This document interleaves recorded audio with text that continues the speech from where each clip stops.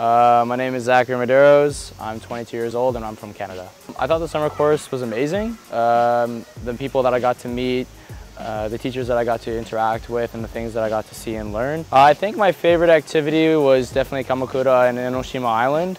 Uh, getting to see, you know, the big Buddha statue and getting to see Enoshima Island, the Dragon Shrine, and a lot of that other stuff was really interesting. And they were amazingly supportive, amazingly helpful, and just a great time to be with. Uh, so the language learning experience at Akamonkai was pretty good. It is really useful, and I can definitely use all the Japanese I learned uh, every day.